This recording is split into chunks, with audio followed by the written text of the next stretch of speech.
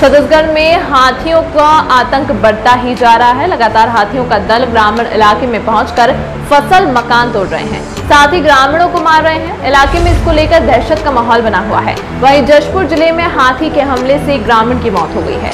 हाथी ने ग्रामीण को रौंदते हुए तालाब में फेंक दिया है। काफ़ी सुबह जब गाँव के लोग वहाँ से गुजर रहे थे तो उन्होंने देखा कि कोई युवक पानी में पड़ा हुआ है। फ़िलहाल मृतक की पहचान नहीं हो पाई है। तालाब से नाज लाश निकालने के बाद ही हो सकेगी ग्रामीणों की पहचान।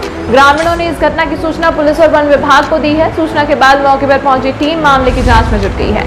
घटना कुनकुरी वन परिक्षेत्र की अम्बाचुआ का है। बने जिला प्रमुख व ब्लॉक प्रमुख रिपोर्टर, और पाए मौका प्रदेश की सबसे बड़ी news channel Chhattisgarh express news के साथ जुड़ने का। छत्तीसगढ़ की सभी खबरें देखने के लिए देखते रहिए छत्तीसगढ़ एक्सप्रेस न्यूज़। सब्सक्राइब करें और बेल आइकन दबाना ना भूलें।